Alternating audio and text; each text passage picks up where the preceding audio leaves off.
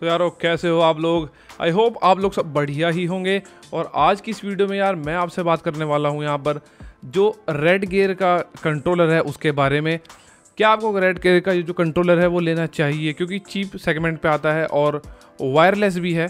Plus मैं यार, पहले भी इसके लिए एक रिव्यू दे चुका हूँ बट ये एक मैं लॉन्ग टर्म में वीडियो यहाँ पर डालना चाह रहा था। आप लोगों के साथ शेयर करना चाहता हूँ, मैं अपने व्यूज़ कि मैं पूरे एक दो साल के अंदर मैंने इसको पूरा इस्तेमाल किया है।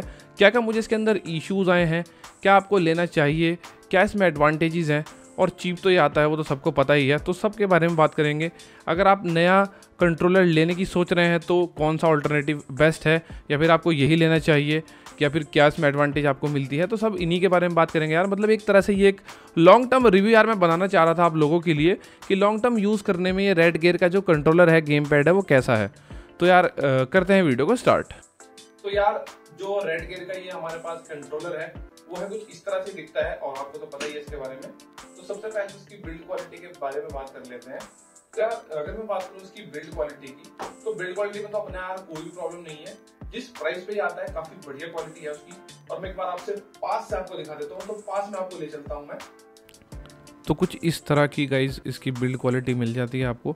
काफ़ी मतलब प्रीमियम सा तो लगता है और जिस प्राइस पॉइंट पे आता है ये तो देखिए जैसे कि इसमें यहाँ पे बटन्स जो दिए गए हैं, वो जो Xbox 360 वाला इसका लुक है सेम एंड मैंने इसको ओपन भी किया है तो थोड़ा सा इसका फ्रेम आपको हिला हुआ भी दिख रहा होगा साइड से जहाँ से चार्जिंग करते हैं, इसके चार्जिंग पॉइंट से और बाकी सभी इसमें पीछे स्क्रू है, मैंने इसको ओपन करके ठीक किया था क्योंकि और ये this is the overall quality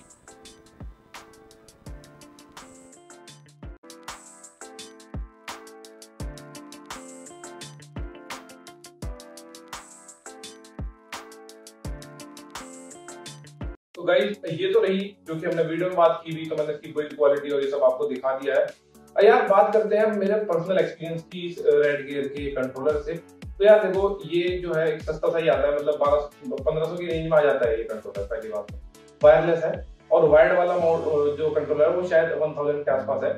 exact price तो मुझे नहीं पता, मैंने चेक नहीं की अभी तक। मुझे एक्चुअली भूल गया बहुत पहले मंगाया था इसको, इस वजह से। बट देखो, जो सेगमेंट है, वो तो बढ़िया है मतलब सस्ते में आ जाता है तो बढ़िया है। और अगर मैं बात करूँ ज़्यादा कंप्लेन भी नहीं कर सकते आप, क्योंकि जिस प्राइस पॉइंट पे आ रहा है उस पर तो value for money money product है हमारा जो कंट्रोलर है इसको पहले उठा लेते हैं यहाँ पास से, आ जाते हैं। तो यार, अब मैं कुछ बात करूँगा ना, इसमें कुछ कमियों की जो जिसकी वजह से मुझे परेशानी हुई है तो वो यार है कि ज़्यादातर कंट्रोलर्स में एक प्रॉब्लम आ जाती है कि यहाँ पर जो इसका जो एल वाला बटन है, जैसे कि मैंने इसमें पास से भी आपको दिखाया था शायद आपको भी दिख रहा हो तो ये जो ये वाला बटन है या फिर ये वाला बटन है, जब हम गेम खेल रहे होते हैं तो इनका काफ़ी ज़्यादा रोल रहता है। बाकी सारे बटन तो ऑलमोस्ट बढ़िया चलते हैं बट इनमें जो है ना प्रॉब्लम्स आ जाती हैं। तो प्रॉब्लम आने की वजह से यार अगर वारंटी में भी है तो वारंटी में भी आपको पहले रेड गेयर भेजना पड़ेगा, फिर रेड गेयर वाले सब करेंगे। वो मतलब एक पंद्रह बीस दिन का टाइम है, वो खा जाता है पूरा। और मेरा ये जो है किस्मत खराब की वजह से, अपने तो किस्मत में चली रहा है सनी। तो उस हिसाब से ये जो मेरा कंट्रोलर है कि वारंटी के बाद खराब हुआ था और इसमें इस वाले बटन में काफ़ी प्रॉब्लम आ गई। यार मैं काफ़ी परेशान हो गया क्योंकि मज़ा नहीं आ रहा था फिर गेम खेल रहा आप और उस टाइम पे वो एक्सपीरियंस जो है मतलब एक बेहतर वाला, वो नहीं मिल पाता। तो एट दैट टाइम की उस टाइम पे ये जो कंट्रोलर है, इसको फिर मेरे यहाँ पर है एक जुगाड़ू आदमी भी हमारे पास और खुद भी जुगाड़ करते रहते हैं। तो फिर मैंने उनको ये उनको कंट्रोलर दिखाया क्योंकि वो कंट्रोलर ठीक ठीक करते रहते हैं। तो यार हमने फिर मिलके इसको खोला, मैंने कुछ जुगाड़ इसमें देखते हैं। तो यार इसके अंदर बटन होते हैं, या फिर कई बार बटन में कार्बन आ जाता है तो उसकी वजह से ना ये ये तो काम करना बंद कर देता है, या फिर मार्केट से ना कुछ स्विच मिलता है अंदर से मैं आपको दिखाऊँगा अभी वो। वो हम डाल के इसमें ठीक कर सकते हैं बट यार वो भी हर एक के बस का काम नहीं है, क्योंकि उसमें वायरिंग का टांका ये सब वगैरह लगाना पड़ता है, तब जाके ठीक होता है। बट खैर, इतनी झपट मार के मैंने इसको तेल वेल मालिश करके इसकी, और इस कंट्रोल को फिर ठीक कर लिया।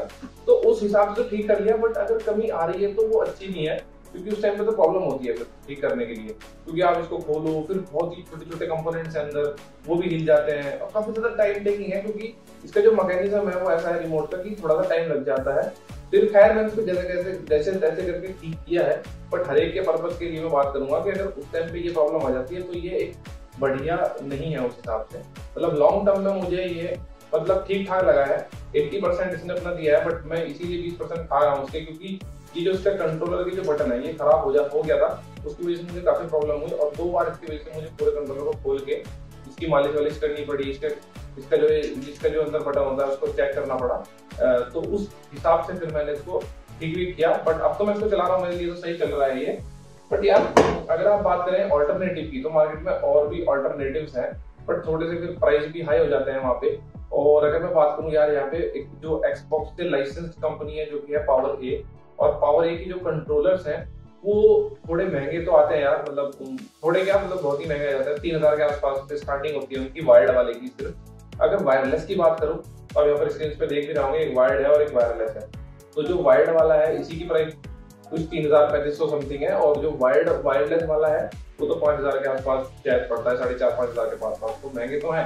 बट अगर यार मैं बात करूँ, अभी मेरे पास दिखाने के लिए नहीं यार कंट्रोलर क्योंकि मैं उसको नेक्स्ट वीडियो में, क्योंकि यार बात में रेड गेमिंग कर रहा हूँ फ़िलहाल तो इसलिए इसके ऊपर मैंने वीडियो बनाई है सेगमेंट नेक्स्ट वीडियो मेरी याद रहेगी कि आपके लिए बहुत जल्द मैं पावर ए का जो कंट्रोलर है, उसके लिए भी आपके लिए पूरा जो है ना, एक डिटेल वीडियो आपके लिए बनाऊँ। बट मैं एक बार खेल चुका हूँ पावर ए के कंट्रोलर से। तो यार अगर मैं बात करूँ बिल्ड क्वालिटी की तो बहुत ही औसम लेवल की उसकी बिल्ड क्वालिटी है इससे ज़्यादा अच्छी क्वालिटी है। और कुछ डेडिकेटेड बटन उसमें मिल जाते हैं यहाँ पीछे। अब यार उनका मैं ज़्यादा यूज़ नहीं कर पाया। जैसा कि मैंने बताया नेक्स्ट वीडियो में यार ज़रूर आपके लिए पावर के लिए डिटेल वीडियो बनाएँगे। बट वो एक अच्छा कंट्रोलर है। बाकी लॉन्ग टर्म में उसका क्या रिव्यू रहेगा, वो भी देख के बताएँगे। और अगर आप इसको बात रही अब कंक्लूजन की, अगर आप इसको लेना चाहते हो तो यार डेफिनेटली आप इसके लिए जा सकते हो। बट मेरा एक, अगर मैं बात करूँ वायर्ड और वायरलेस की सर कहीं ना कहीं मुझे ऐसा नोटिस लगता है, ऐसा होता है कि जो वायरलेस वाले जो कंट्रोलर होते हैं या माउस होता है तो गेमिंग में अगर हम बात करें तो थोड़ा बहुत लेटेंसी का इशू कभी कभार हमें देखने को मिल जाता है। और वो ऐसे टाइम पे प्रॉब्लम करता है कि बहुत ही क्रूशियल टाइम होता है कि कभी हम गेम खेल रहे हैं एफपीएस गेम खेल रहे हैं, या कंट्रोल से कई बार गेम खेलते हैं, या फीफा फुटबॉल कुछ भी खेल रहे हैं, उस टाइम पे अगर हम बटन यहाँ से रेस्पॉन्स देंगे, थोड़ा लेट रेस्पॉन्स जाएगा वहाँ पे। उस टाइम पे तो यहाँ गोल पड़ जाएँगे और नाश हो जाएगा तो या फिर बंदा यहाँ पे किल करके चला जाएगा। तो वो सब लेटेंसी इशू की वजह से मुझे भी लगता है कि अभी मैं नेक्स्ट अगर कंट्रोल भी दूँगा तो वाइड ही दूँगा, क्योंकि वो ज़्यादा बेनिफिट रहता है लेटेंसी का कोई चक्कर है है ही नहीं। और वायरलेस से कम में मिल जाता है। और वायरलेस की यार ये है वायरलेस की वजह ये भी है कि आप इसे भी ले सकते हो, क्योंकि इतना क्लीन सेटअप लगता है आपका राइट कि मतलब आप कहीं जैसे कंट्रोलर रख दो तो मेरी मेन वजह यार सेटअप की वजह से थी कि मैंने वायर्ड भी लिया, क्योंकि सॉरी वायरलेस लिया। क्योंकि वायरलेस के एडवांटेज यार कहीं भी सिंगल कोई तार वार का चक्कर नहीं, दिखता ही नहीं है। कहीं भी ऐसा रख लो, आप इसको एक अच्छा लगता है लुक बढ़िया आता है। तो उस पर्पज से भी आप ले सकते हो। बाकी अगर आप नॉर्मल गेम खेलते हो प्ले स्टेशन पे या मतलब थोड़ा पास ही बैठ के खेलते हो, जैसे कि मैं बात करूँगा इसके रिसीवर की तो रिसीवर मैंने बहुत पास रखा है। क्योंकि अगर मैं इसको कहीं आसपास छुपा दूँ तो लेटेंसी का इशू ना जाए इसकी वजह से मैं इसको बिल्कुल पास रखता हूँ कि बिल्कुल रिस्पॉन्स जो है वो जल्दी से ट्रांसमिट हो जाए, जो हम यहाँ से बटन दबा रहे हैं रिसीव डेटा जल्दी से हो जाए। तो उस केस में ये एक बढ़िया है और जिस प्राइस पॉइंट पे आता है, उसमें भी बहुत बढ़िया है ये गेम पैड बट हाँ थोड़ा सा वो ही जो मैंने आपको बताया कि अगर खराब हो गया तो फिर थोड़ा सा आपको बोल बोल के अपने लेवल पे या आसपास की शॉप में जो मैकेनिक हो, उनके थ्रू इसको करवाना पड़ेगा या करवा उनके भी आ जाता है बटन पे। जैसे जनरली रिमोट में भी आता है टीवी के तो उस केस में आप कर सकते हो अपने लेवल पर। अगर नहीं कर सकते आप तो फिर थोड़ा ऊपर जा सकते हो प्राइस में, थोड़ा अच्छा कंट्रोल आप ले लो, ताकि उसमें झंझट ही ना हो। तो वो भी एक बढ़िया चीज़ है। तो यार, अगले वीडियो में आप, आपके लिए ज़रूर से यहाँ पर जो कंट्रोलर्स हैं, वो लेके आऊँगा कि बेस्ट कंट्रोलर कौन से हैं। फ़िलहाल इसका एक कंक्लूजन है। अगर आपको ये वीडियो अच्छी लगी है तो प्लीज़ चैनल को सब्सक्राइब कर दीजिएगा और ऐसे ही प्यार देने के लिए हम हमारे से जुड़े रहिएगा, ताकि मैं और भी आपके लिए बेहतरीन वीडियोस बना सकूँ। और सॉरी यार, काफ़ी टाइम से वीडियो में बना नहीं पा रहा था बट अभी हम रेगुलर करेंगे चैनल पे वीडियो बस आप लोगों का सपोर्ट चाहिए हमें, वो हमें मिल ही रहा है और आगे मिलता भी रहेगा। और मिलते हैं आपसे नेक्स्ट वीडियो में। Thank you